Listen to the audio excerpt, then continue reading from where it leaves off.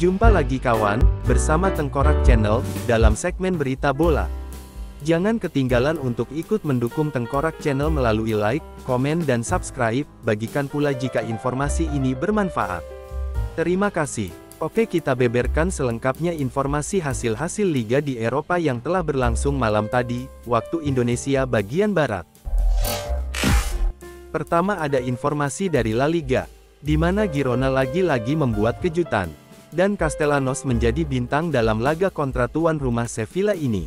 Pekan 32 La Liga mempertemukan Sevilla lawan Girona, hasilnya sungguh tak terduga, wakil Spanyol di Piala Eropa ini harus tersungkur di kandang sendiri 0-2. Gol-gol kemenangan Girona dicetak oleh Juan P pada menit 23, dan gol Castellanos menit ke-55. Castellanos benar-benar makin moncer, setelah minggu kemarin menciptakan rekor 4 gol ke gawang Real Madrid. Mungkin jika performanya terus menaik, dia akan dilirik klub-klub besar di musim mendatang.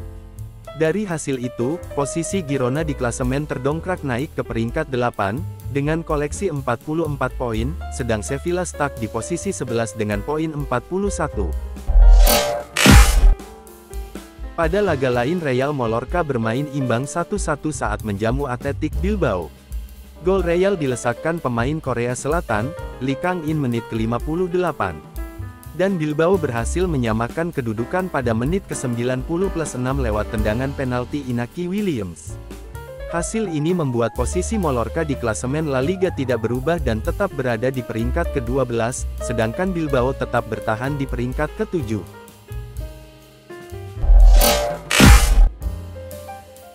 Sementara itu di Inggris, laga Leicester City versus Everton yang digelar di Stadion King Power, berakhir imbang 2-2. Persaingan di zona degradasi Liga Inggris pun makin panas. Dengan hasil imbang itu, Leicester City meninggalkan zona degradasi Liga Inggris.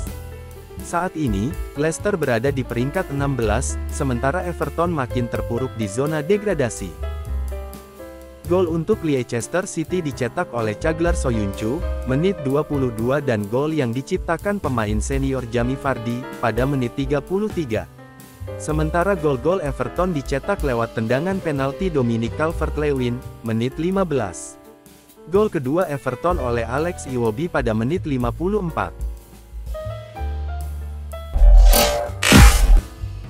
Di Prancis, Olympique Marseille bertemu AJ Auxerre. Marseille tertinggal dulu lewat Toure pada menit 33. Gol penyelamat Marseille dari kekalahan dan membalikkan keadaan, diciptakan under menit 75 dan Sanchez menit 77. 2-1 untuk kemenangan Olimpik Marseille. Dengan kemenangan tersebut Marseille masih berpeluang mengejar gelar Ligue 1, hanya beda 5 angka dengan 6 pertandingan sisa.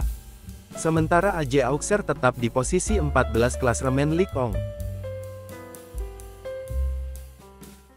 Saksikan terus Tengkorak Sports, update Liga-Liga Eropa. Jangan lupa untuk subscribe, like, dan share.